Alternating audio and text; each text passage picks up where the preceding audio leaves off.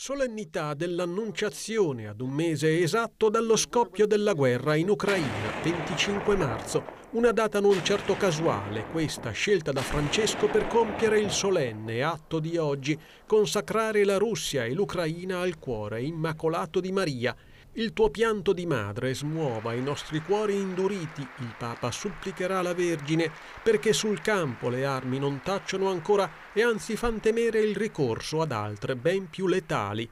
Appuntamento oggi alle 17 a San Pietro. La recita dell'atto di consacrazione concluderà la celebrazione della penitenza e altrettanto faranno vescovi, sacerdoti e fedeli in città e paesi del mondo intero su pressante invito del Papa pace e l'implorazione che si alzerà al cielo in almeno 35 lingue, quelle in cui dal Vaticano è stato tradotto e distribuito il testo. A Fatima, in Portogallo, è arrivato già ieri l'inviato del Papa per compiere in sua vece lo stesso solenne atto lo aveva chiesto la Vergine apparsa qui ai tre pastorelli, consacrare al suo cuore la Russia, come già fecero i predecessori di Francesco. Nel frattempo, però, riflette amaramente Bergoglio, abbiamo dimenticato le tragedie del secolo scorso, i milioni di morti delle guerre mondiali. È anche un po' triste perché sono stato in Ucraina, ho visto cosa succede lì, quindi anche